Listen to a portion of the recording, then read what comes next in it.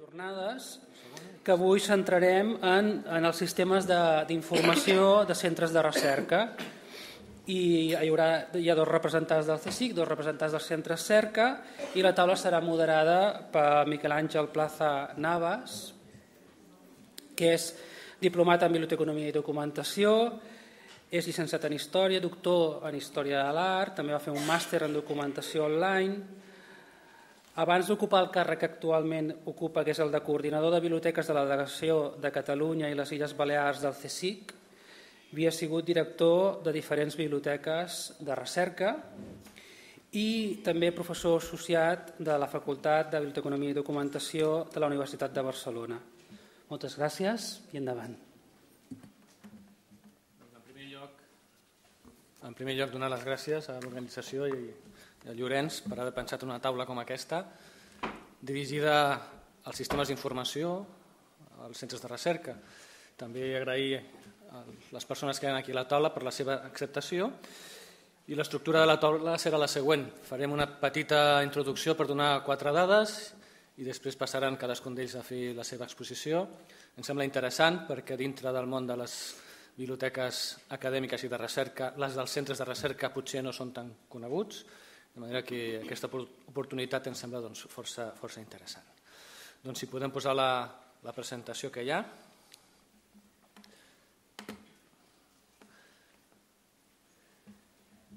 El primer que he fet quan vaig preparar aquesta petita introducció és mirar a Catalunya com estaven quan a centres de, de recerca. Abans el doctor Canela doncs, ja ha posat unes dades molt similars, fent una cerca simple. Són dades no massa estructurades, senzillament és per donar una miqueta una visió del que, del que hi ha i on estem.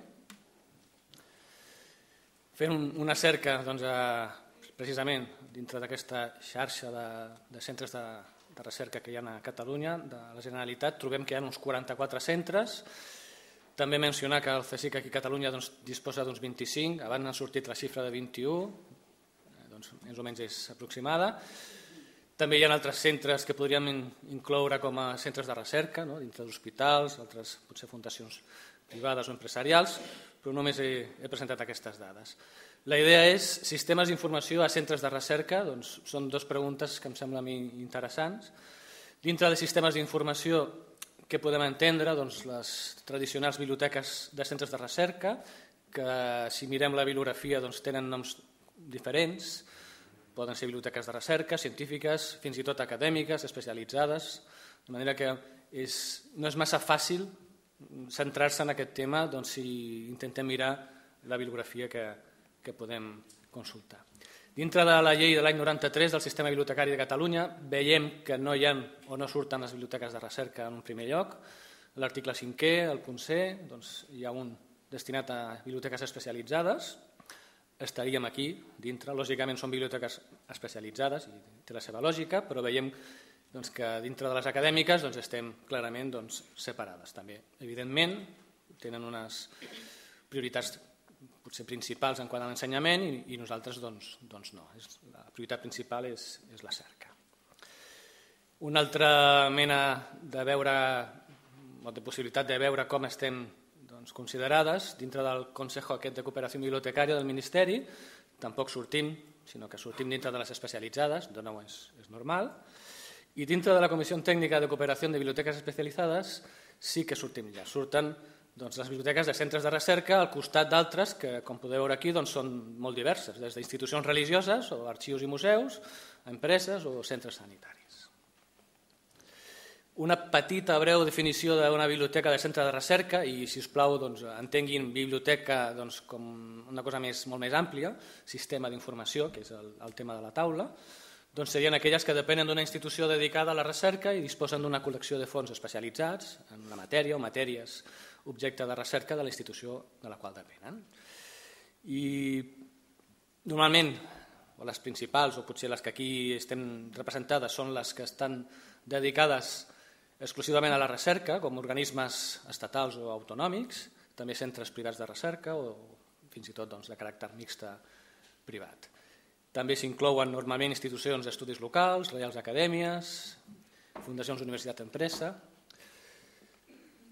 i algunes dades per tenir-ho també una miqueta al cap. Fent una cerca també molt simple, eh, vull dir, no pretenc res més que donar dades, al directori de biblioteques del Ministeri doncs, surten que hi ha unes 260 biblioteques de centres de recerca, que és aproximadament doncs, un, un 3% de les biblioteques que estan representades en aquest directori. Dintre d'aquest mateix directori, a Catalunya, surten que hi ha unes 26 biblioteques de centres de recerca. La dada bueno, és un 2,5% del que seria el total de biblioteques doncs, de Catalunya que estan aquí representades, de manera que és senzillament això, una dada. Eh? Al mapa cercador de biblioteques de Catalunya, de la Generalitat, doncs surten que d'entre les 840 biblioteques que estan representades hi han 300 i una miqueta especialitzades. Dintre d'aquestes hi han 28 que surten representades com centres de recerca. Això no vol dir que siguin les úniques, perquè moltes vegades estan eh, qualificades com biblioteques especialitzades en plan genèric i no masses vegades doncs, realment s'especifica doncs, que són de centres de, de recerca. I a l'Associació Europea de Biblioteques de Recerca, mencionar que dels 400 membres que té, hi han 28 de l'estat espanyol, hi han 7 de Catalunya, si considerem les de l'estat espanyol, doncs només hi ha una que estigui clarament relacionada com a biblioteca de recerca, d'un centre de recerca, i si mirem a Catalunya, doncs en principi no surt cap, surt una especialitzada. Dos petites cites que, que volia doncs, presentar aquí. Una és la situació de les biblioteques especialitzades, i jo aquí afegiria, i de les dels centres de recerca doncs a Catalunya, és difícil de definir, ja que hi ha un important desconeixement de quins centres pertanyen a aquesta categoria i de quines són les seves característiques. Això és un article de l'any 2008. Jo crec que encara continua més o menys sent, sent vàlid. I després un altre de l'any 2012, doncs, dir cap a on anem una miqueta, segurament és el que ens presentaran ara els nostres ponents, que encara que els investigadors cada dia són més independents, són més autònoms, les eines doncs, són més properes amb ells, doncs l'accés a la informació científica de qualitat encara roman doncs, com un punt clau en el que els sistemes d'informació dels seus centres respectius doncs, juguen un paper fonamental o l'haurien de jugar. I el nostre paper com a professionals dintre dels sistemes d'informació és mostrar o demostrar el seu valor. Això és el que cada dia doncs, segurament ens eh, mostraran els nostres companys que estan intentant. Ja potser no es tracta tant de que l'investigador vagi a la biblioteca, sinó de que la biblioteca o el sistema d'informació doncs, vagi, en el sentit virtual de la paraula, doncs, on està l'investigador i pugui suplir les necessitats que, que aquest investigador ens pugui tenir. Des de la simple cerca bibliogràfica fins a aspectes relacionats amb els seus projectes, amb, com s'ha mencionat abans, amb l'ORCID, amb el repositori, accés obert, etc. Finalment, presentar per sobre els tres ponents. Primer tenim a la Central Romaguera, després l'Agnès Ponsati i després el Ferran Camps. Farem la intervenció al revés de com estan aquí posats. En primer lloc parlarà el Ferran Camps i abans de passar només fer una miqueta de país o de pàtria, dir que hi ha dos articles a l'ITEM que parla un de biblioteques especialitzades, que em sembla interessant, no és massa citat, no és massa comentat, però a mi em sembla que encara que és genèric doncs dona una idea bastant interessant, que potser doncs, seria, seria bo donar una ullada, i un altre que està centrat en les biblioteques de recerca, eh, el que poden aportar. Tampoc és gaire citat, però ja que han sortit publicats a l'ITEM, i és una revista nostra d'aquí, del nostre àmbit, doncs seria bo donar-li una ullada. Fins aquí la meva presentació general, doncs passem ara amb el Ferran Camps i mencionar que ell és llicenciat en Història per la Universitat de Barcelona, és diplomat en Biblioteconomia i Documentació per la Universitat de Barcelona, és llicenciat en Documentació per la Universitat Oberta de Catalunya, ha fet els postgraus de la Pompeu Fabra d'Arquitectura de la Informació i d'Arxivística Digital i des de l'any 2006 treballa doncs, a l'ICFO, que ell ens explicarà eh, de què es tracta, que és un centre doncs, dedicat a la investigació, a la recerca en fotònica. Doncs endavant. Uh, uf. Uh, hola, bon dia. Uh, moltes gràcies per convidar-me. Eh, sempre està bé que d'una manera o altra et reconeguin la teva feina. I vaig estar molt content quan em van convidar. A veure, això ho podríem posar. Si poguéssim posar la presentació. És la número 4 que teníem preparat abans. Va, perfecte eh, em van demanar que fes una presentació sobre el sistema d'informació dels centres de recerca, concretament en el meu. Uh, bàsicament us explicaré tres coses. Què és l'Institut de Ciències Fotòniques, el sistema d'informació l'ICFO i el paper del documentalista en el centre de recerca. Uh, què és l'ICFO? Bueno, us ho explicaré, no té més misteri, però us he de confessar que um, em vaig espantar una mica quan em van dir que parlés del sistema d'informació a l'ICFO, perquè el primer que em va venir al cap va ser un CRIS o va ser eh, el portal futur de l'OPC com a sistema d'informació i l'ICFO no disposa d'això. I aleshores em vaig preguntar de què parlaràs? Eh, però anant-hi pensant, sí que utilitzem tota una sèrie de plataformes que ajuden a la recerca i a la producció científica. I després, en relació al tercer punt, i a partir de la meva feina i de, el que sé o intueixo dels, altres, dels altres centres de recerca, de la seva realitat, eh, faré una aproximació del que a mi em sembla que és el paper del documentalista en el centre de recerca, eh, bastant intuïtiva. Comencem. L'ICFO què és? L'ICFO és un centre de recerca que es dedica a la llum, a la llum làser.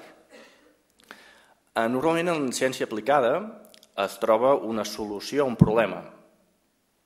Eh, però amb el làser va passar al revés. Van inventar el làser, van dir, tenim una solució, però el problema quin és? I aleshores, a mesura que han anat passant els anys, s'han anat, anat trobant quins problemes resolia la llum làser. I aquests són els, són els problemes que resol. Veure, olorar, tallar, enganxar, escriure, esborrar, tot això es pot fer amb làser. Eh, I la llum la trobem a tot arreu és omnipresent i la fem servir per, per això, per, per tot. L'ICFO investiga les aplicacions de la llum làser en multitud d'àmbits. És un centre cerca de la Generalitat de Catalunya, és beneficiari de la, eh, del programa de Severo Ochoa i estem vinculats a la, a la UPC. Eh, va néixer aquí al Campus Nord, però el 2005 ens vam traslladar a Castelldefels i estem al campus eh, mediterrani de la tecnologia. Eh, us explico amb xifres. Són uns 300 investigadors i una cosa molt important és que són gent de pas. Val? A l'ICFO eh, és molt difícil quedar-s'hi com a investigador. La gent ve, fa una tesi doctoral de 4, 5, 6 anys, fa un postdoctorat de 2, 3 i marxen s'agafen els investigadors, se'ls dona, se dona una formació amb diner públic i després aquesta formació es transfereix a la societat. Eh, tenim 50 nacionalitats. No? A la unitat de recursos humans hi ha un mapa del món amb tots els països i per cada i a dia d'avui tenim 50 xinxetes. No? Per cada eh, país posem una xinxeta. És eh, altament internacional eh, i diguem-ne la nostra llengua de comunicació habitual és, és l'anglès. Tenim 12 professors i CREA, tenim 12 eh, eh, grans European Research Council i tenim 6 professors Selex Nest, que això és eh, postdoctorants a nivell mundial que destaquen molt, nosaltres els captem i els fem cap, caps de grup. Val? Els posem a liderar un grup de recerca. Allà eh, on encara no ho podrien fer, a Berkeley, a Alemanya, a grans universitats del món, nosaltres captem aquest talent de postdoctorants i els diem aquí tindràs la possibilitat de ser tu qui lideri un grup de recerca. A més a més, eh, l'ICFA ha creat cinc empreses spin-off. Quatre àrees de recerca. Nanofotònica, òptica quàntica, òptica no lineal i biofotònica. Es fa recerca bàsica i aplicada. Recerca bàsica, una recerca que la fem, però no sabem encara quina finalitat té. Eh, el dia de demà se sabrà o no, però no té una finalitat eh, concreta. L'aplicada sí. Es fa recerca teòrica i també en laboratori. Hi ha 23 grups de recerca que tots es composen de la mateixa estructura. Un cap de grup, que aquest sí que és permanent, una sèrie de postdoctorants, una sèrie de doctorants i una sèrie d'estudiants. Què fa l'ICFO i què no fa? El que no fa és docència. L'ICFO com a tal, una docència regular, com es fa a la universitat, no es fa. es fa publicacions, es fa formació, es formen aquests investigadors, com he dit abans, per després que tornin a la societat, fan patents, aquí reafirmo el que s'ha dit, eh, que en publicacions són molt bons en general, però que amb patents i transferència tecnològica ens costa una mica més. L'ICFO és un exemple d'això, amb publicacions són molt bons i el tema dels patents l'estem treballant, així com les aliances amb el món empresarial i fem també divulgació científica. Ara passem a, a la segona part, que és el documentalista, l'ICFO i el, el centre de, el sistema d'informació. Um, jo no, no treballo sol, val? Um, treballo amb diversa gent, eh, però que no són bibliotecaris. Jo formo part d'una unitat de l'ICFO, una unitat que fa coses molt diferents. Tenim un dissenyador gràfic, tenim una persona que s'ocupa d'esdeveniments institucionals i tenim una part de communications, això vol dir relacions amb, eh, amb els mitjans de comunicació i comunicació corporativa. I el documentalista treballa conjuntament amb aquestes persones. Eh, no, no, no està aïllat. Val? Eh, i a més a més, estic centrat en la producció científica de la institució, però no només. També faig altres coses no relacionades estrictament amb la producció científica. En relació a l'activitat científica, tenim una biblioteca eh, molt recent, té un any. Jo durant molts anys he estat un bibliotecari sense biblioteca, però ara sí que en tenim. Això bàsicament ens va permetre estalviar recursos en relació a la col·lecció física. Cada grup de recerca tenia la seva pròpia biblioteca, comprava la seva pròpia col·lecció i molt, hi havia molts duplicats. Uh, això vam decidir acabar-ho, ara hi ha una sola col·lecció i a més a més hi ha un, hi ha un sistema de, de préstec. També hi ha un servei d'obtenció de documents, que tots ja podeu conèixer, i la custòdia i repartiment de llibretes del laboratori. Això és molt important perquè en aquestes llibretes eh, n'hi ha de físiques, n'hi ha de virtuals, l'investigador va anotant tot allò, totes aquelles dades fruits dels seus experiments. I en cas de plagi, ell pot anar a un jutge i dir «Ei, jo en tal data vaig escriure això». Per tant, eh, aquestes, laboratori, aquestes llibretes són molt importants.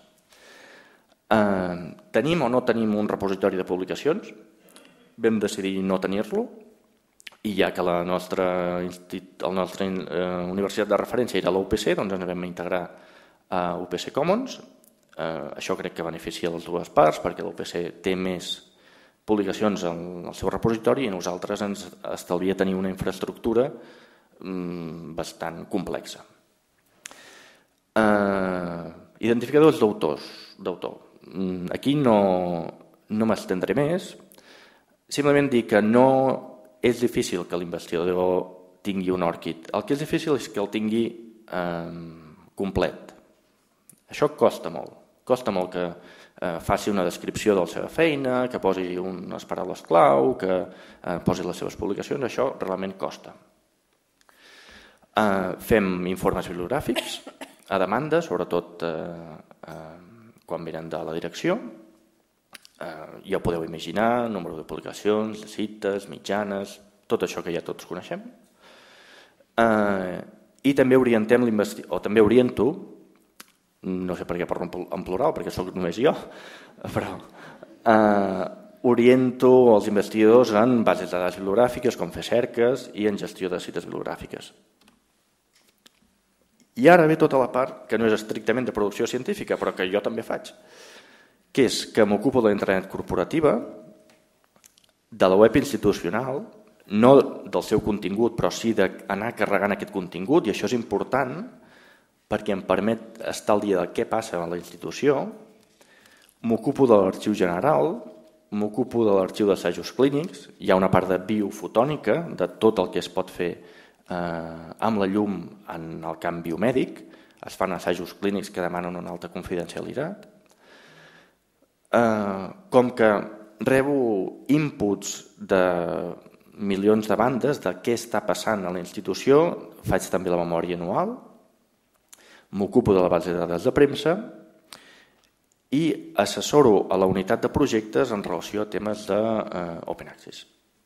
Tenim una unitat de projectes que mm, guia tots els investigadors quan s'han de relacionar amb institucions europees, espanyoles, catalanes i moltes vegades em demanen coses sobre Open Access. Faig servir softwares gratuïts i de codi lliure pel catàleg, per l'arxiu, per la internet i softwares propietaris en el cas de la base de dades de premsa i de llibretes de laboratori. Ara anem a la tercera part, eh, on explicaré una mica bueno, què, què em sembla a mi que és el paper del documentalista en els centres de recerca de Catalunya i eh, com està la situació. Jo crec que hi ha un cert decalatge entre la qualitat de les publicacions i la qualitat de, eh, dels serveis que oferim, que els documentalistes ofereixen als centres de recerca. En publicacions són molt bons, però jo no sé si les estructures que donen suport ho són tant. Primer, per què? Perquè el documentalista és una figura molt poc freqüent. No? Um, en els centres de recerca i els investigadors hi ha tota una sèrie de, de mm, personal administratiu que els hi dona suport. En el cas de l'ICFO els hi dona molt de suport. La filosofia és, tu investigador, investiga i nosaltres t'ajudem en tot. Des de buscar una casa, fins a fer-te la declaració de la renda, fins a... O sigui, els cuidem tant com podem, tant com podem. Eh, això passa a l'ICFO però no, no, no, no passa a altres, a altres centres. El documentalista és una figura poc freqüent, per tant el servei eh, que, que, que es dona mm, és pobre. Les estructures són inexistents o, o unipersonals. Si hi ha documentalista, n'hi ha un. Val? Per tant, el que, el que pot fer aquest un és, és una mica limitant. I a més a més, la funció d'aquest documentalista moltes vegades la fa la seva unitat de referència, la, la seva universitat de, de referència. L'accés a la col·lecció, per exemple, moltes vegades eh, la dona mm, doncs, la universitat a la qual el centre de recerca està aliat. Però ara ve la part positiva. Eh, com més gran és el centre i més gran és l'estructura administrativa, diguem-ne, el documentalista més possibilitats té d'existir. Eh, pot ser molt proper a l'investigador, això ja es va dir ahir, eh, que ens trobem al bar, que ens trobem al tren, que la relació és molt directa i molt fluida i dona resposta a les necessitats de l'investigador, ja sigui directament o en coordinació amb d'altres unitats. Val? Eh, jo puc treballar conjuntament amb recursos humans, puc treballar conjuntament amb projectes, puc treballar conjuntament amb moltes, moltes altres, eh, moltes altres unitats que donen suport a l'investidor. Per tant, estic donant suport indirectament, en aquest sentit, a l'investidor. Amb això vull dir que amb la cosa aquesta del bibliotecari incrustat, vull dir que el bibliotecari pot estar incrustat en el centre de recerca, però també a les unitats que li donen suport. I ara parlaré una mica, ja per acabar, de la relació entre el documentalista i les necessitats de l'investigador. Necessitats que venen de lluny. Accés a la literatura científica, això és un clàssic. Eh, L'investigador no entén, no entén que no tingui accés a, a, a totes les publicacions del món. No ho entén, és que no li entra al cap. I a més a més, eh, dius, bueno, ho podem suplir amb el servei d'obtenció de documents. Diu, diuen, no, no, no, no, no. Jo ho vull directe al meu PC ja. No vull passar per intermediaris. Això és una necessitat que ve de lluny. Necessitats presents. El tema d'Horizon 2020, el tema d'identificadors d'autors i el tema d'Open Access. Aquí m'aturaré perquè per parlar una mica del decalatge del que parlava. No? Eh, jo ara no parlaré de, de repositoris, perquè eh, sé que per vosaltres, si jo em poso a, a parlar aquí de repositoris, és com si us parlo del paleolític superior. Però els centres de recerca de Catalunya estan entomant aquest tema en aquests anys, l'any 13, l'any 14, l'any 15. Hi ha un cert endarreriment. Els centres de recerca de Catalunya estan entomant el tema dels repositoris ara. Tant és així que jo del Ministeri vaig rebre una publicació ara, un petit fulletó, eh, editat al finals del 2014, eh, que feia, eren les indicacions de com aplicar el famós article de la llei de la ciència. No? Llavors, això et dona, el, el, el fet de que el Ministeri estigui repartint això, et dona una idea de que el tema de l'accés obert eh, encara en els centres de recerca no està del tot consolidat. Estem fent passos. Necessitats futures, el tema de gestió de dades. Eh, jo estic acollonit, però ho haurem, ho haurem d'entomar d'alguna manera, de manera, sobretot perquè anem, anem amb un endarreriment important. Si ens estem posant al dia ara amb repositoris, imagineu com serà el tema de gestió de dades. Eh, prioritats dels investigadors. La dictadura del factor d'impacte. Jo no parlo del que hauria de ser, jo parlo del que és eh, el tema dels factors d'impacte continua sent molt important per l'investigador, molt important. Eh, el tema dels quartils eh, també és molt important. I l'investigador que té diners està disposat a pagar agafar una eh, revista tancada mm, de qualitat i pagar uns diners perquè el seu article estigui en obert. Això és un drama perquè la institució paga la subscripció de la revista i a més a més li donem un extra eh, a la revista. Però si l'investigador té diners, està disposat a pagar-los. I la importància de publicar en determinades revistes més enllà de, del factor d'impacte. L'obsessió dels meus investigadors és publicar Nature, Nature Photonics, Nature Physics, ja no diem Nature Pota Negra. Per què? Per una raó molt senzilla. Perquè si tu ets una... Un, perquè està molt bé eh, l'accés obert i eh, fer unes mètriques diferents, està molt bé, però l'investigador sap, l'investigador de l'ICFO sap que si publica Nature se li obren les portes a Alemanya, al Regne, al Regne Unit o als Estats Units. Tant és així que quan el primer investigador eh, doctorant va publicar el primer Nature a l'ICFO, va fer un seminari de com s'ho va fer. Uh, I amb això volia acabar.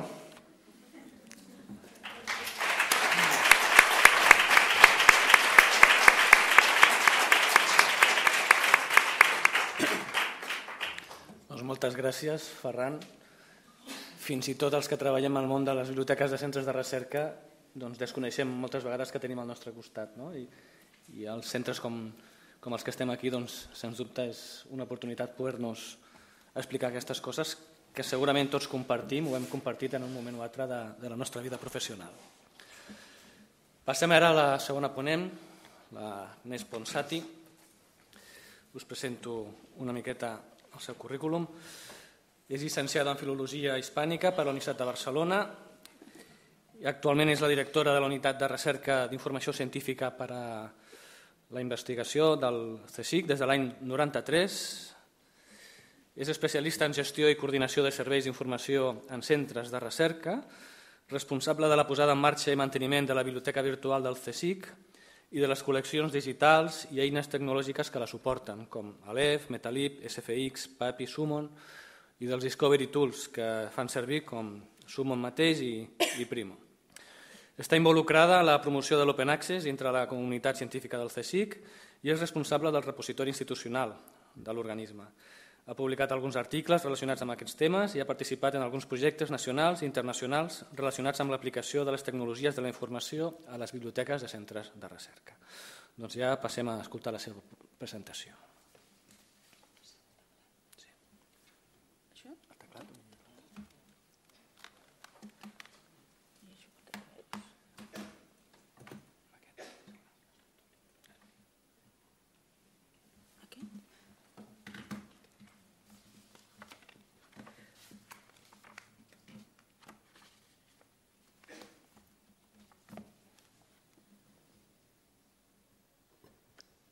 Bon dia. En primer lloc, agrair a l'Observatori de l'Institut d'Estudis Catalans la invitació per formar part d'aquesta taula rodona en la qual se'ns demana que parlem dels sistemes d'informació científica.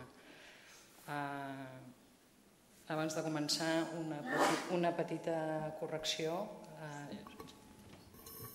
Jo sóc cap de la unitat de recursos d'informació científica de suport a la recerca, eh? no de la unitat de recerca. No, no, jo no tinc eh, perfil d'investigador. Miquel Àngel se li ha provocat la... Bé, eh, també us vull demanar disculpes per si veieu alguna errada ortogràfica. Eh, jo sóc de Barcelona però fa més de 20 anys que visc a Madrid. Eh, la meva presentació eh, eh, doncs, té de base altres presentacions que jo he fet que estaven en castellà i a l'hora de traduir eh, veureu accents que van d'un costat a l'altre i us demano disculpes per, per, per aquest tema. Bé, Eh, és la primera vegada que jo estic en aquestes jornades i el que estic observant, eh, que a mi em sembla interessant, és que mostra un panorama eh, molt divers, eh, molt dispar, amb moltes formes i també eh, que parlem, eh, utilitzem una terminologia que de vegades pot ser molt polisèmica. No? Uh, sistema d'informació científica, bé, ens hauríem de posar d'acord primer en què volem dir, no? què s'entén per un sistema d'informació científica, eh? què és un SIC. Uh, és una pregunta que si li fem a un documentalista la respon amb una orientació, si li fem a un gestor d'una institució científica te la respon uh, amb una altra direcció i si li preguntes a un uh, gestor d'una unitat de tecnologia informàtica et dona una resposta totalment uh, diversa. Us dic això perquè jo em centraré en parlar eh, del, del cas del CSIC, no? què és el sistema d'informació científica del, del CSIC i eh, el primer problema que... Ui, perdoneu-me. Anat al final de la presentació. El primer problema que nosaltres vam tenir eh, bueno, fem el viatge al revés, però com que és molt curt, de seguida arribarem al principi. Uh, us parlo d'una uh, situació que uh, el CSIC es va donar uh, ara farà de l'ordre de 4 o 5 anys. Eh, vam fer una parada important per fer una reflexió de en quin punt estàvem en quant eh, al tema que avui ens ocupa, no, dels sistemes d'informació científica, i la situació en aquell moment era que hi havia a la nostra pròpia institució molts agents implicats, eh, moltes dependències orgàniques diferents d'aquests agents, una manca absoluta de coordinació de di diferents unitats eh, diguem, que, eh, que donaven o que componien aquest sistema de suport a, a, la, a la investigació, una absència d'una política d'informació científica institucional que fos comprensiva i que ens englobés a tot, a tots. Això produïa, com us podeu imaginar, una duplicitat de tasques, de resultats, d'inversions eh, i de disfuncions bastant eh, important. En definitiva, eh, podíem dir que el, sistema, el CSIC tenia un sistema d'informació científica eh, de components desagregats, eh, bastant poc ineficient, molt poc sostenible. Teniu en compte que ja havíem entrat en el període de, de la crisi econòmica eh? I a més a més eh, tot això feia que al final la nostra comunitat tingués una mala percepció d'aquest sistema.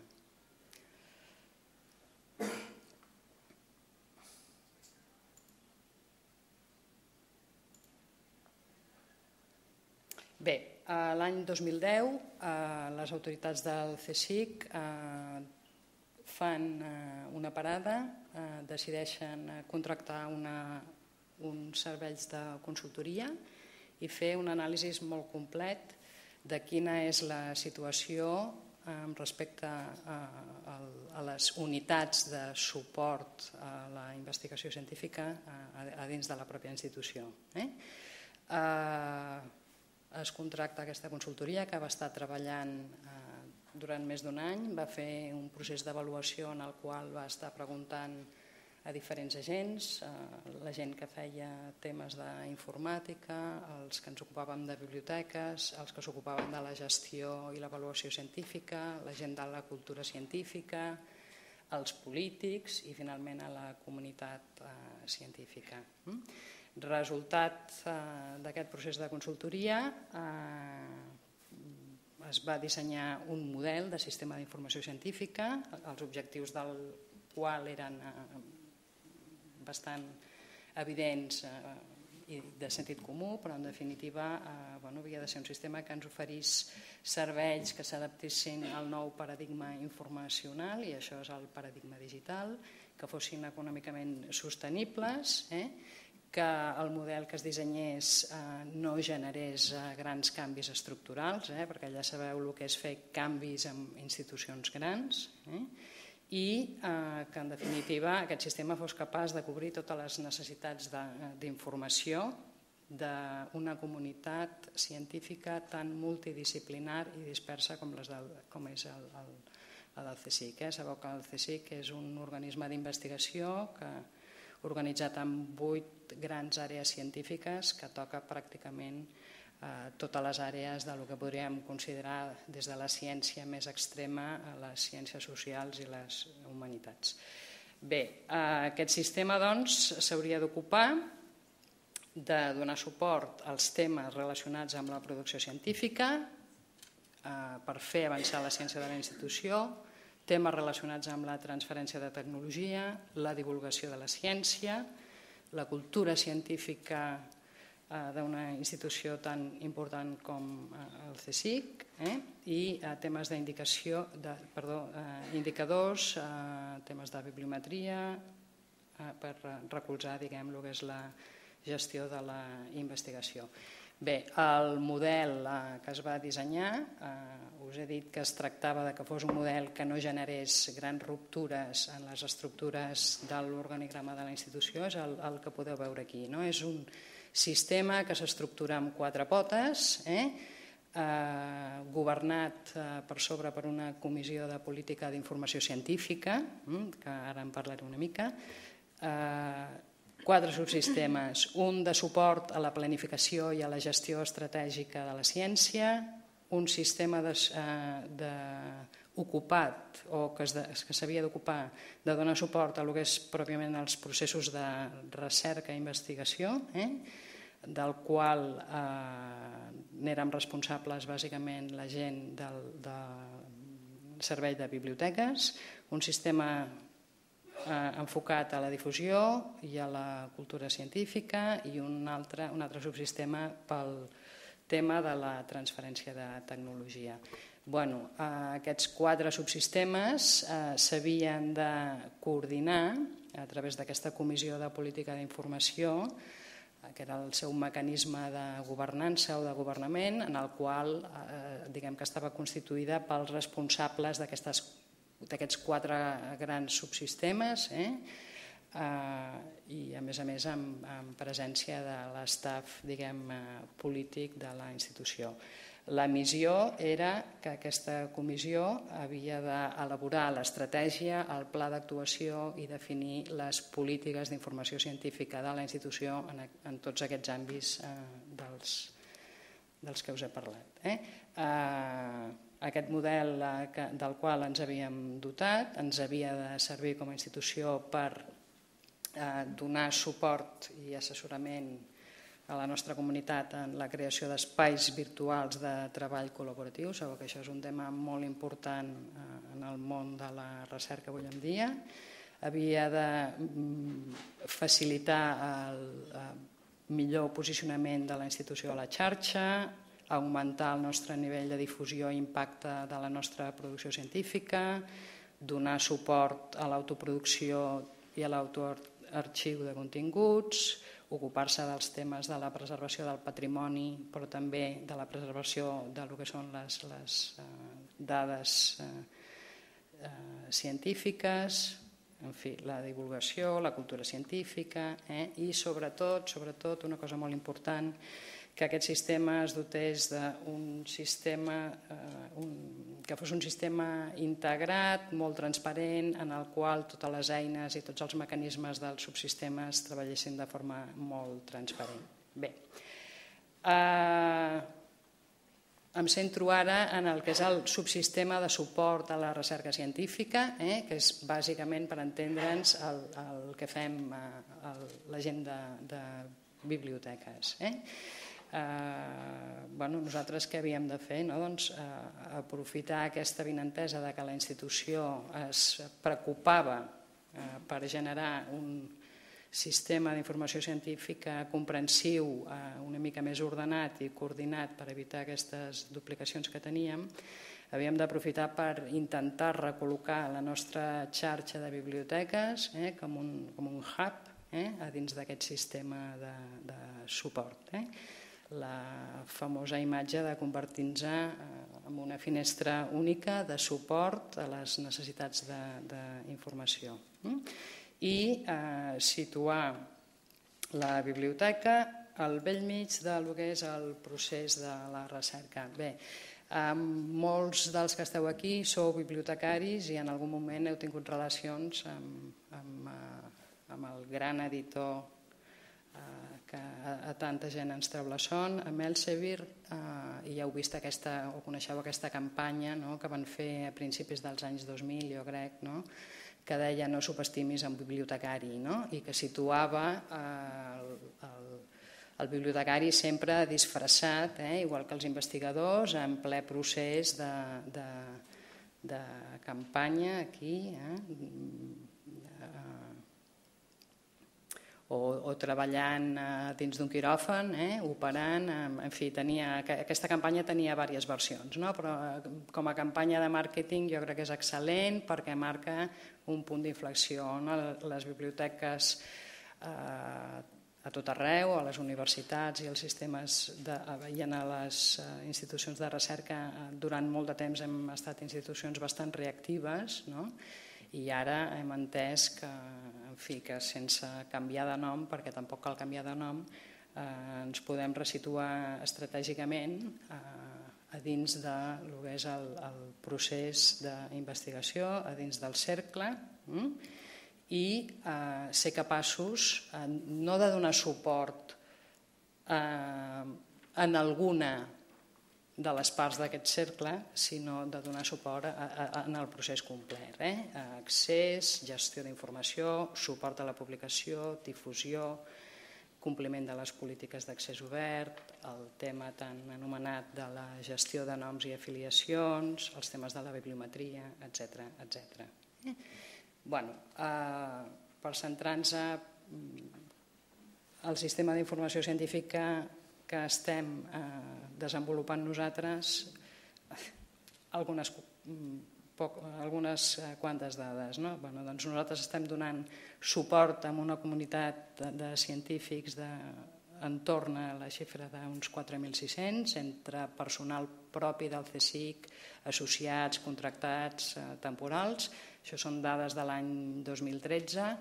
Eh, és una comunitat tremendament eh, multidisciplinar, molt, molt especialitzada, que fa un ús intensíssim de la informació científica. Eh, bueno, ja veieu, no? el volum de publicacions, ICI, no ICI, eh, la capacitat de generació de patents, de direcció de tesis, d'edició de llibres i, sobretot, l'important número de projectes d'investigació eh, que, que gestiona aquesta comunitat. Bueno, I aquest sistema, els sistemes no són coses teòriques, es concreten amb estructures, eh? eh, amb polítiques, amb eines, donen serveis i obtenen resultats. No? I aquí, a aquestes dues últimes filmines, i ja acabo, el que veieu és bueno, el nostre sistema en què es concreta. No? Al cap i a la fi, doncs, 63 biblioteques presencials, una unitat de recursos d'informació que s'ocupa de la seva gestió eh? i dels seus recursos, serveis i tecnologia, 172 professionals, una col·lecció eh, patrimonial en format imprès de més de 2 milions d'exemplars, 76.000 eh, col·leccions de revistes impreses una, i una col·lecció digital de més de 10.800 títols de subscripció, eh, de subscripció no gratuïts, eh, de subscripció de pagament, una col·lecció de, 200, de més de 270.000 llibres electrònics, 84 bases de dades referencials. Eh? Molta tecnologia perquè això eh, pugui servir de forma molt transparent, eh, catàlegs, eh, eines de descobriment, servidors d'enllaços, sistemes d'autenticació únics eh, per tot aquest conglomerat d'eines que es van integrant, el repositori institucional, un gestor d'objectes digitals, etc. Molt important, eh, si no hi ha polítiques no hi ha sistema, perquè el que hi ha mm, és el dia a dia i el dia a dia ha d'estar orientat. Eh, un bon conjunt de polítiques i una carta de serveis que ens obliga eh, de cara a la nostra comunitat al compliment eh, del que ens hem proposat. Eh? Qualsevol dels aspectes que veieu aquí, que veieu aquí doncs està eh, eh, prèviament documentat i té una política eh, de servei.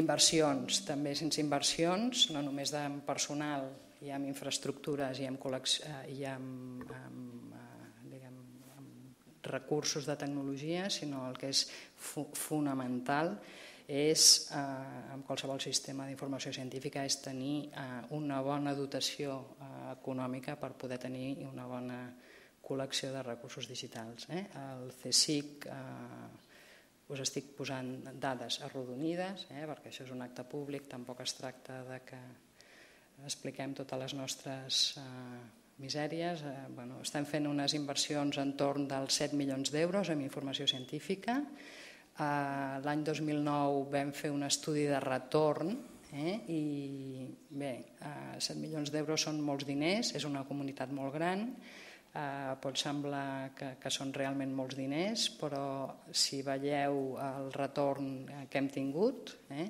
l'any 2009 aquest estudi ens deia que per cada euro que invertíem en recursos d'informació, els nostres científics eren capaços, eh, utilitzant aquests recursos, de retornar a la institució 15 euros que obtenien eh, amb, amb càrrecs de, de projectes d'investigació. Eh? També us he posat algunes dades d'ús de tot aquest conglomerat de continguts i serveis perquè dimensioneu una mica eh, el volum eh, d'aquest sistema d'informació. Eh?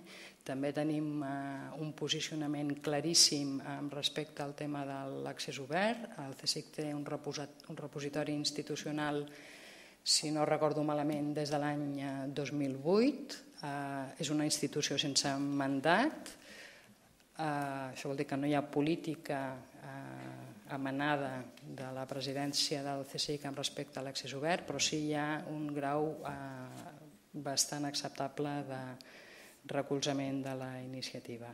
És el cinquè repositori institucional a nivell europeu si ens creiem els rànquings de l'Isidro Aguillo. Eh? Bé, jo crec que els rànquings eh, ajuden a posicionar-se, s'han d'agafar sempre amb, amb cautela, però en fi, és un, una dada que a nosaltres ens, ens reconforta, eh? perquè el tema de l'accés obert verd realment s'està posant bastant difícil. I també tenim eh, un petit compromís que intentem eh, que creixi, que és que ajudem els nostres autors a publicar en accés obert i ajudar vol dir que els ajudem a pagar el cost dels articles. Eh? No tenim eh, en aquests moments eh, molt pressupost, però amb la mesura que podem i esperem que la transició del model de subscripció al model de publicació en obert eh, doncs, aquí a Catalunya i a la resta d'Espanya algun dia també arribarà. No? I, i bueno, jo crec que bàsicament això és el que jo us podia explicar de forma molt ràpida, només intentar donar-vos una idea de, de dimensió i de dificultat eh? amb una institució tan gran, tan dispersa, tan diversa com és el CSIC, a organitzar un sistema molt consistent de suport a la investigació científica doncs és un tema que és uh, tot menys obvi, és bastant complicat.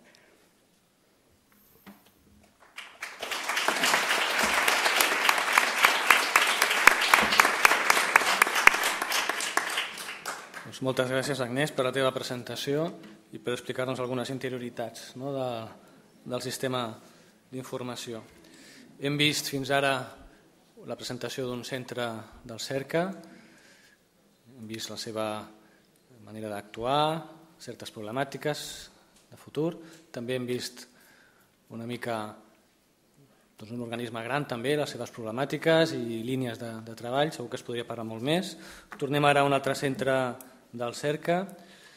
Presentem ara la Chantal Romaguera, per mi és un plaer perquè havia perdut el rastre feia 7 o 8 anys, havien tingut algun contacte quan treballàvem a la Biblioteca de Geologia i per presentar-la doncs, us dic el següent. Ella és llicenciada en Història per la UB i també és diplomada en Biblioteconomia i Documentació per la mateixa universitat. Treballa a l'IRTA, que ara ens presentarà doncs, el seu sistema d'informació. Des de l'any 95 ha estat consultora de la Universitat Oberta de Catalunya i aquest curs, de manera molt orgullosa més, doncs, ha participat en, com a professora doncs, a la primera edició del màster d'emprenedoria i innovació de la Universitat Rovira Virgili i donant l'assignatura de vigilància tecnològica per a emprenedors. Doncs t'escoltem, Chantal. Passeu les eines. De fet no cal, no? Ni això ni això puc anar diapositives per aquí. Molt bé, molt bon dia. Doncs eh, jo també començaré agraint a l'organització que m'hagin tingut en compte per participar en aquesta taula rodona i especialment el, el Lluís Rovira per haver donat el, el meu nom i el, el del Ferran com a representants dels centres cerca eh, eh, de biblioteques eh, de recerca. Um, una cosa que jo volia preguntar però que ja no preguntaré perquè ja he resolt aquests, aquest dia, entre i avui, és que no sabia si era la primera vegada que algun dels uh, documentalistes de centres cerca participàvem en alguna taula rodona en unes jornades i ja he constatat que sí, que és la primera vegada que, que, que això passa, no? Llavors, en aquest sentit, doncs, em sento orgullosa. Després també de donar-vos les gràcies a vosaltres per ser aquí, perquè suposo que a aquesta hora ja estem tots una mica cansats i suposo que sou aquí perquè teniu eh, curiositat per saber una mica el que fem no? a l'IRTA i eh, això és el que penso explicar-vos ara. Eh, espero que d'una forma una mica ràpida i bueno, correcte.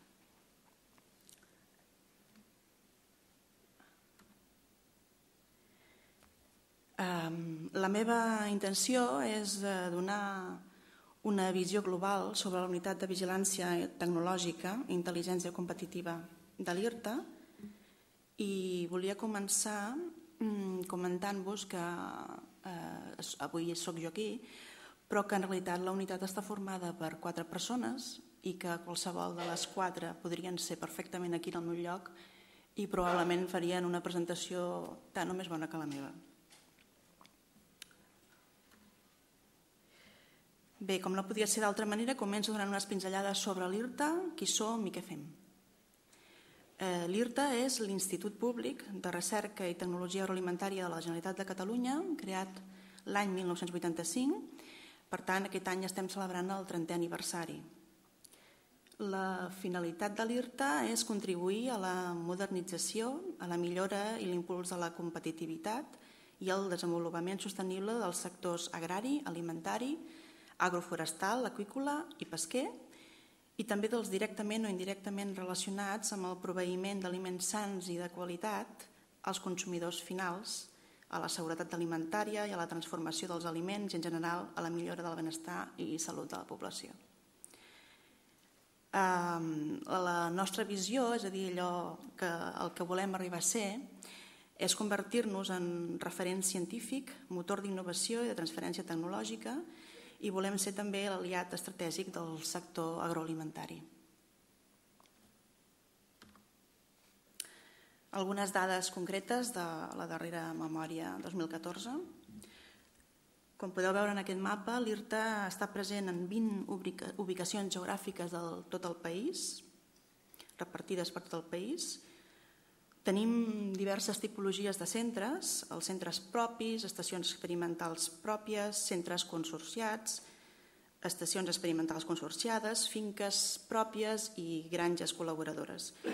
Tot aquest conjunt constitueix un veritable sistema cooperatiu de remés de mesí i a nivell diguéssim econòmic l'IRTA mobilitza una suma total de recursos superior als 38 milions d'euros i compta amb una plantilla de més de 500 persones, tot i que s'ha de dir que ara, al, gener del 2015, s'ha integrat a l'IRTA el Centre de Recerca en eh, Sanitat, eh, perdó, Seguretat Alimentària, el CRESA, que compta amb, és un centre prou gran, que compta amb un, un centenar de persones més. Per tant, en comptes de 500 ja som 600. Si sumem en el personal IRTA tot el personal vinculat als eh, centres consorciats, aquesta xifra doncs, eh, es dobla no? i arribem a ser una, un miler de col·laboradors.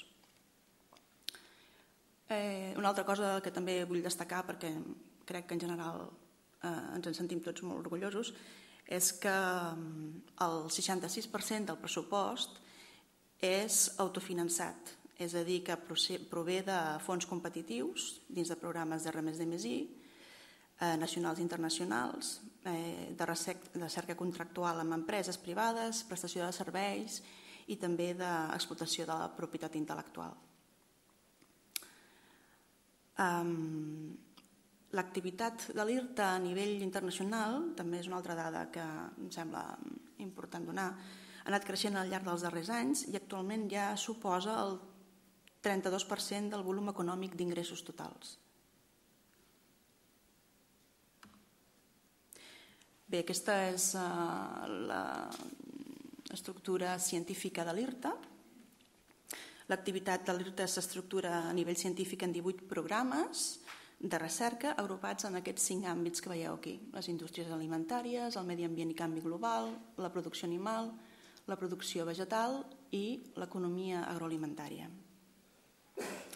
Cada programa, a més a més, té subprogrames i eh, es, es treballa en línies de recerca. Eh, a més a més, a part de les, dels programes, l'any passat a l'IRTA es va crear una mena de un metaprograma, és a dir, un eh, programa mm, multidisciplinar de vitivinicultura, no? que pretén eh, coordinar eh, l'activitat de l'IRTA, que ja existeix, i fomentar-la eh, que existeix transversal en tots aquests en diversos programes. Bé, després d'aquesta introducció general, ara passo a parlar ja del que seria la unitat de vigilància. Com a precursor de la unitat, eh, podem parlar del Servei de Documentació Científica, que existeix pràcticament dels, dels inicis de l'IRTA, si no de l'any 95, doncs segurament de l'any 96 eh, i sempre depenent de la sotsdirector general, de sotsdirecció general. Perdó. La missió del servei de documentació es va definir en el seu moment eh, com a facilitar l'accés, la difusió i la conservació dels recursos d'informació, així com col·laborar en els processos de creació, transmissió i gestió del coneixement per tal de contribuir a la consecució dels objectius dels plans estratègics de les unitats operatives de l'IRTA. En aquell moment se'n deien unitats operatives, ara podem dir programes de recerca.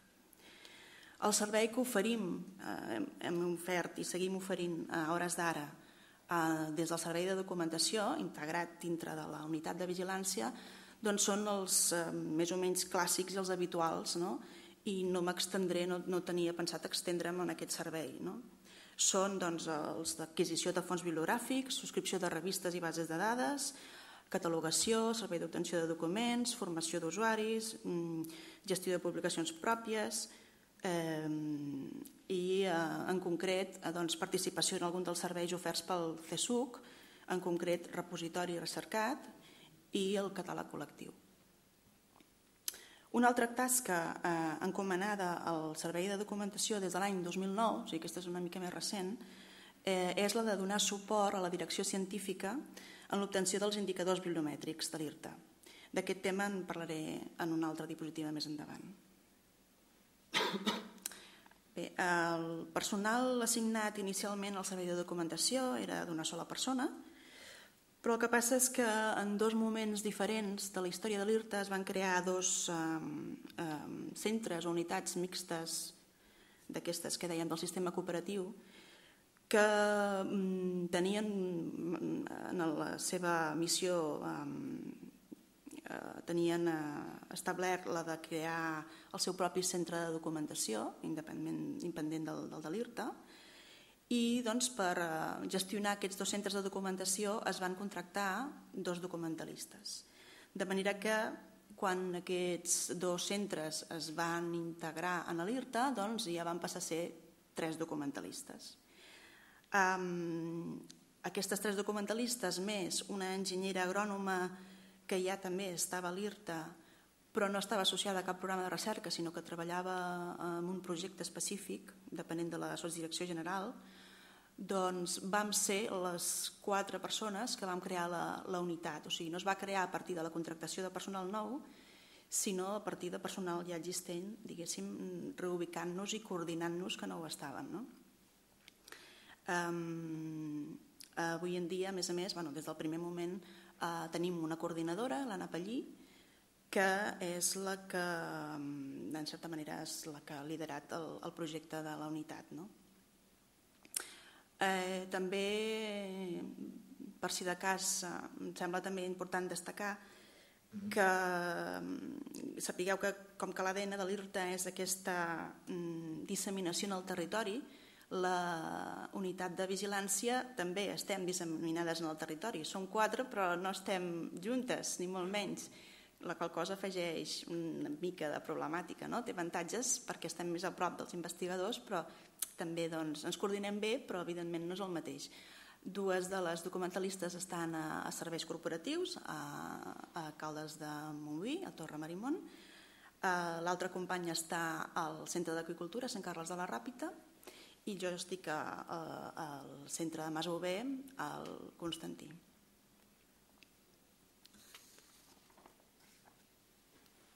Um, en l'IRTA es va començar a parlar de la unitat de vigilància, doncs no sé ben bé, però jo diria cap al 2007, 2006, 2007, més o menys.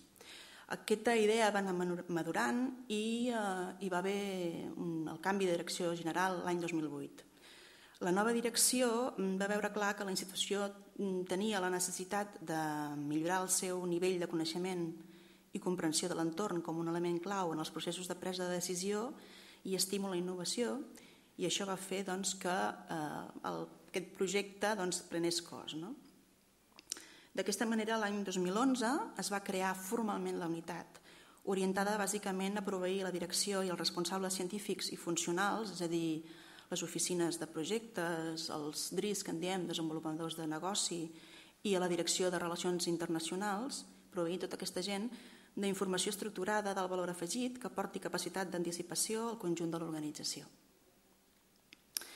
També us volia comentar, mm, perquè bueno, em sembla també important, que mm, un de les, en el, també en aquella època es va desenvolupar l'estratègia corporativa de l'IRTA i un dels objectius estratègics d'aquest document, diguéssim, doncs és eh, precisament el de sistematització dels processos de vigilància d'innovació i un altre, que estem diguéssim, molt vinculats, molt imbricats amb l'estratègia corporativa de, de l'IRTA. Um, també volia comentar que un altre dels objectius estratègics és, que això també en parlaré després, incrementar l'impacte de les publicacions científiques, és a dir, incrementar l'índex H de, dels investigadors i dels programes. Eh, aquesta estratègia corporativa, no sé si ho explicaré molt bé perquè tampoc no sóc la responsable ni molt menys d'això, però perquè ens entenguem, es tradueix en una sèrie de, en un quadre de comandament integral que doncs, té indicadors mesurables i un d'aquests indicadors mesurables que també depèn de nosaltres, diguéssim, és uh, un indicador bibliomètric que en diem l'índex R, del que també parlaré més endavant. La diapositiva no està equivocada. Eh? En realitat la unitat es va crear formalment el 2011, però abans hi havíem començat a fer formació i vam començar ja treballant en dos projectes bàsics, els informes de posicionament i els portals de vigilància eh, tecnològica. Durant els dos primers anys diguéssim, de recorregut ens vam centrar en aquests dos temes bàsicament, tot i que també vam estar donant altres serveis que, dels que, que veurem després.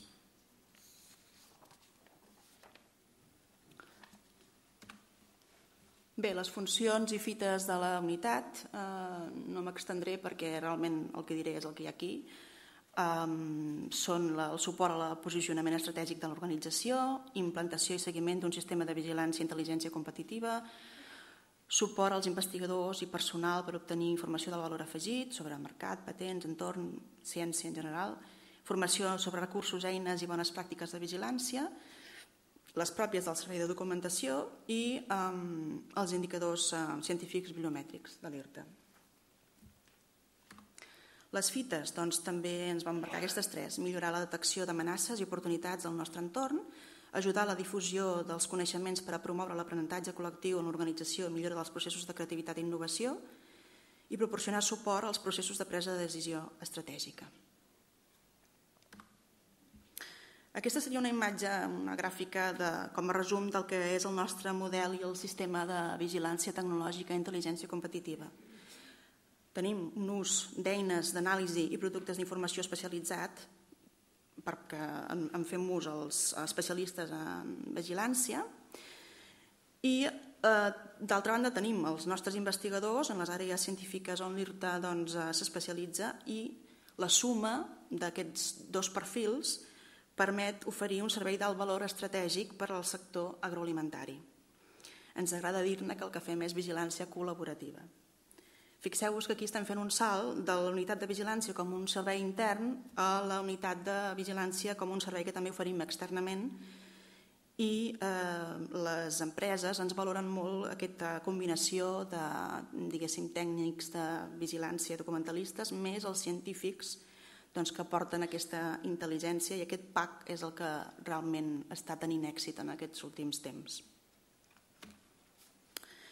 Eh, abans, eh, en el parlar de la, de, la, de la creació de la unitat, he, començat, he comentat que un dels projectes que primer es van començar a desenvolupar va ser el dels informes de posicionament.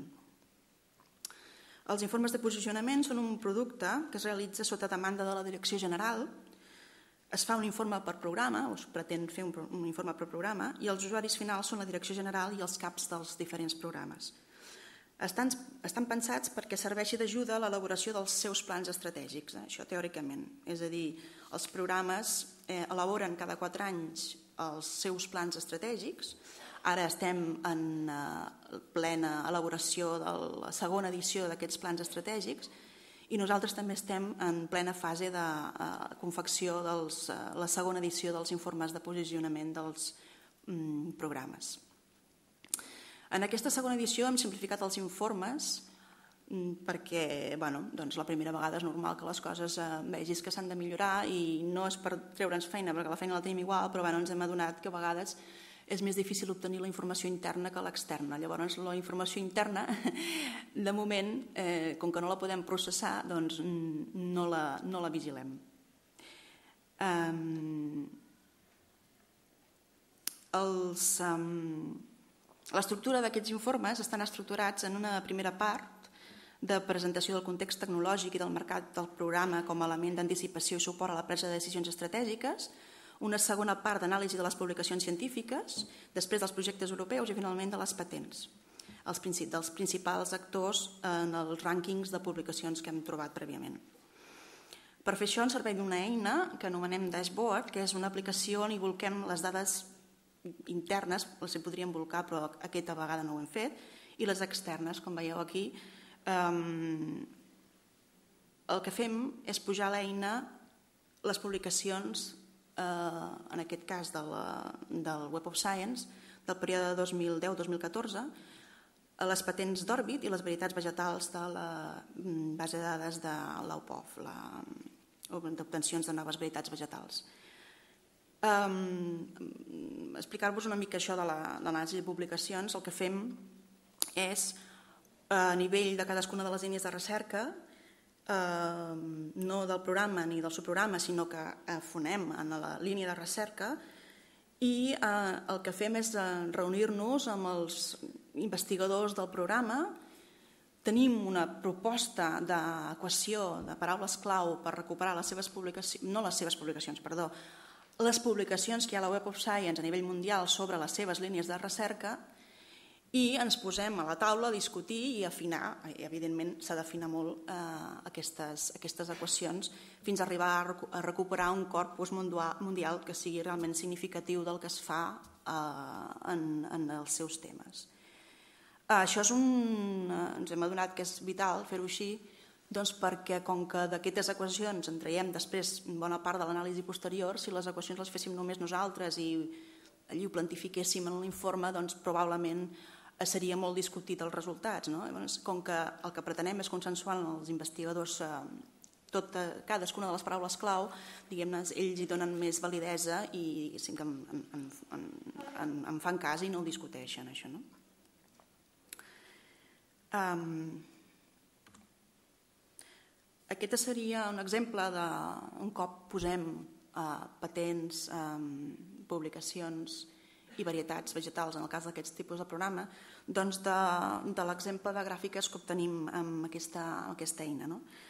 Fem una anàlisi quantitativa, quantitativa de les publicacions, de tendències al llarg dels quatre anys estudiats, seria aquesta dalt de tot. Eh, fem un rànquing de posicionament dels principals actors, també per subprograma, seria aquesta que veieu aquí més cap a l'esquerra eh, rànquing tant per nombre de publicacions com per nombre de cites rebudes a les seves publicacions. Eh, fem també una petita anàlisi de l'especialització de les publicacions, en el sentit de, que, de veure quins camps es poden valoritzar. Uf, doncs vaig molt retrasada, eh? I bé, de col·laboracions, etc. Passem. L'altra eina que tenim d'aquestes que vam estar eh, desenvolupant des de l'inici seria el portal de vigilància. Eh, aniré de pressa. És un portal que està corrent sobre SharePoint, està desenvolupat allí perquè és el que tenim. Els portals de vigilància és una plataforma col·laborativa que també s'està implementant per programes i també per alguns àmbits de gestió que ens demanen, com per exemple l'oficina de projectes per fer el seguiment de totes les convocatòries d'ajudes agudes i per haver. El seu objectiu és reunir en un sol lloc la informació tecnològica de l'entorn i de mercat, estratègica, etc. Així com el, el, el dashboard, eh, el que tractàvem era informació estructurada, aquí estem tractant informació desestructurada de fons web. No? En l'inici, en la base del portal, el que hi ha també és unes sessions amb els, amb els representants dels programes per elaborar el que en diem una, una fitxa amb els, bueno, se'n diu, no? una fitxa amb els factors crítics de vigilància del programa entesos com aquells aspectes externs al, al, programa, a l'organització, l'evolució dels quals poden afectar de manera crítica la competitivitat del, del, de la recerca d'aquesta àrea. Um, un cop identificades les línies, perdó, els factors crítics de, de vigilància, també se'ls demana que ells identifiquin fonts d'informació, que normalment coneixen, i el que fem després és una avaluació d'aquestes fonts associades a cadascun dels factors i mm, mirem de, doncs, de sindicar totes aquestes fonts en el, en el portal de vigilància. El funcionament del portal es basa en l'assignació de rols i permisos específics per a diferents tipus d'usuaris. Tenim l'usuari administrador, que s'encarrega d'agregar les fonts a la llista de feeds, de fer totes les fonts que es descarreguin al portal, de controlar que no es talla cap feed. Um, aquest feed el que fa el sistema és descarregar automàticament, em sembla que dos cops al dia, um, si s'han incorporat noves notícies. Uh, després hi ha un usuari validador, que és el que revisa aquestes notícies que entren al sistema, les valida o no, i si les valida les etiqueta amb, amb un llistat de, de temes, de matèries i tipologies que ja tenim en un desplegable. Una vegada validades, les notícies ja són visibles per a la resta d'usuaris.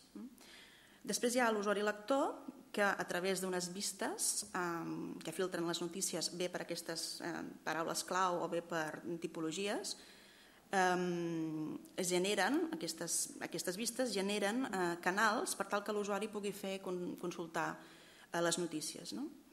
Aleshores, a través dels canals l'usuari pot accedir a consultar des del portal o bé subscriure's a l'RSS per rebre les notícies al seu compte d'Outlook. És a dir, eh, és una eina que ens alimentem de, de RSS, però al mateix temps eh, produeix RSS per doncs, assimilar totes aquestes notícies que provenen de diferents fonts i que després nosaltres, doncs, mitjançant les paraules clau, combinem i donem aquest altre producte de valor afegit.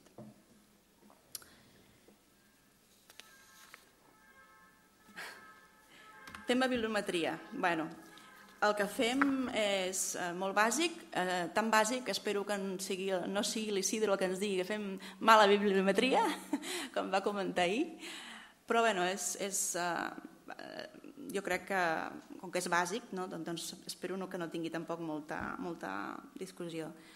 Aquest seria bueno, un exemple de... El que fem bàsicament són elaborar índexs per categories professionals dels diferents nivells dels investigadors per saber doncs, si un, nivell, un investigador està a un nivell C i vol passar a un B, doncs en quina mitjana d'H, cites, etc eh, se li pot eh, demanar. No?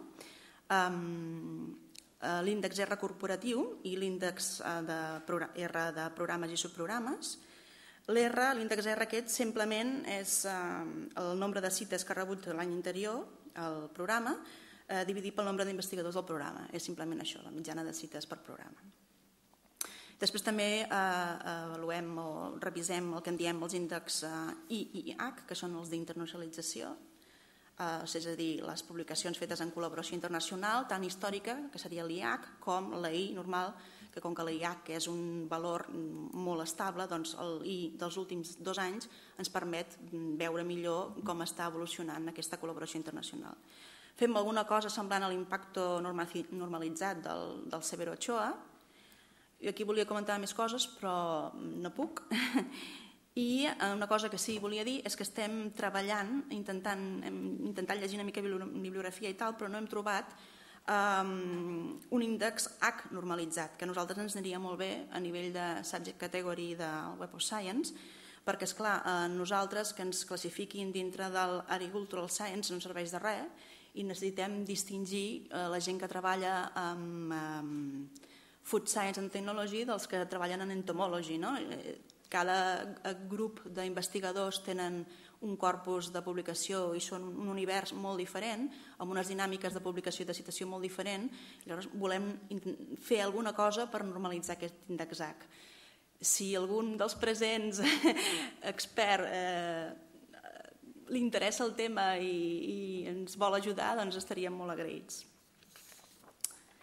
Bé, aquest és uh, un resum dels serveis que donem uh, interns, potser mm, no puc estendre'm més, però vaja, més o menys ja ho he comentat. Sí, sí, sí. Aquests serien els serveis externs, que també són més o menys els mateixos. I, eh, doncs, en principi, res més. Mm, moltes gràcies a tots. Espero no haver-vos avorrit massa.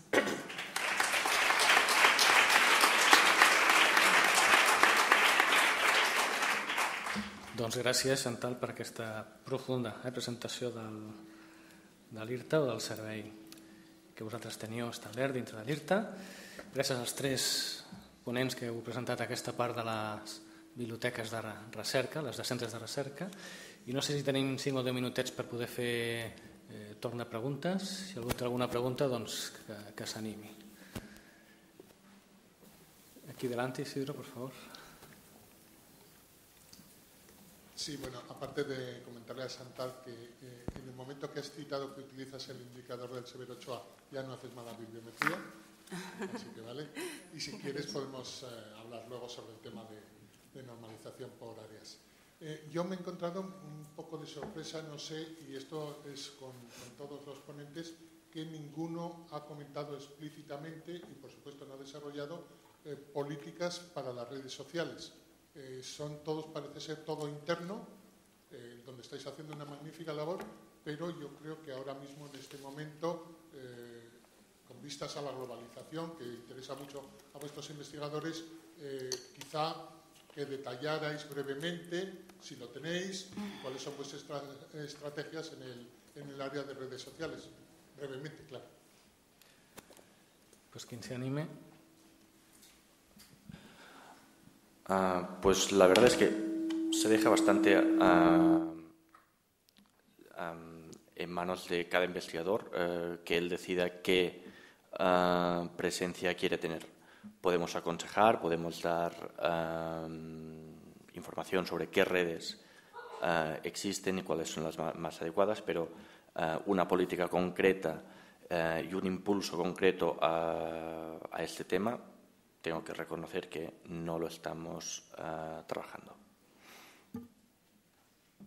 Bé, nosal eh, nosaltres eh, diguéssim que el tema de les xarxes socials a nivell institucional n'ocupa el grup de comunicació, no nosaltres, de, de l'IRTA, i a nivell d'investigadors individual, mm, cadascú fa el que li sembla, com diu el Ferran, però sí que intentem assessorar amb el tema, per exemple, del ResearchGate, i que això, tot això no ho he comentat, però sí que fem assessorament en el tema d'Open Access, que bueno, tothom sempre ens demana molta informació sobre aquest tema i està molt interessat, i doncs què es pot publicar, què no es pot publicar al ResearchGate, etc.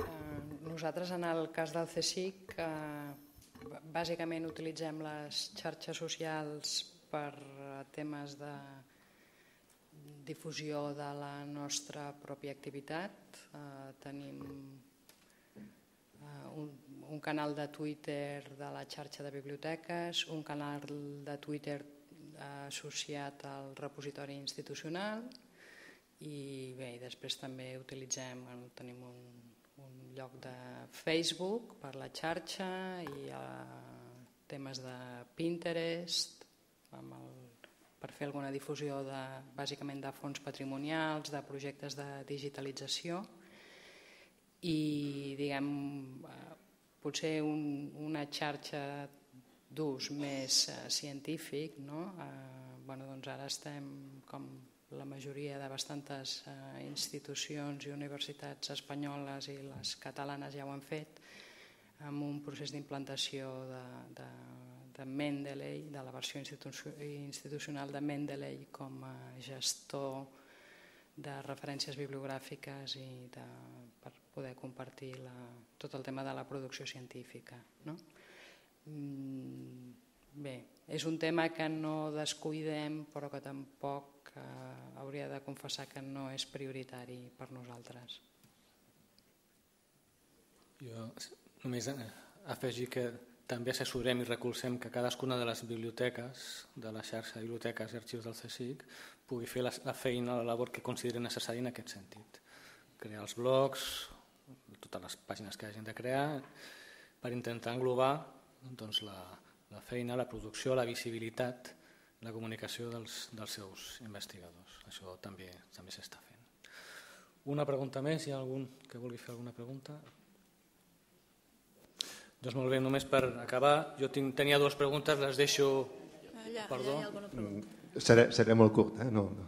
Uh, eren dues preguntes, una així més general per tots, que és uh, saber si els vostres centres de recerca, una mica em sembla que heu anat contestant per, per la resposta que heu tingut ara, però si treballeu o hi ha una àrea de comunicació o un responsable de comunicació i si la relació o la, la feina està integrada dins la mateixa àrea o com a mínim eh, són documentació, eh, comunicació, són perfils presents i ben integrats dins els vostres centres. L'altra pregunta era molt més concreta eh, pel, pel primer ponent, pel Ferran, és, eh, has comentat que el, el, el teu centre, l'ICFO, eh, treballa amb la, amb pel que fa, eh, col·labora amb l'UPC pel que fa al repositori.